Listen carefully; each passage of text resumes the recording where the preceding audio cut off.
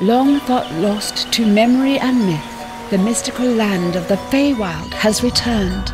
New Sharandar stands as the entryway to a world alive with magic and beauty.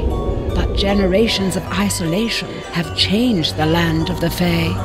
Beyond the untamed woods lies the ruined castle of the Dark Fey King, Malabog. Rumors abound that Malabog has obtained the ultimate weapon, a legendary beast that may shift the balance of power and change New Sharandar and Neverwinter forever.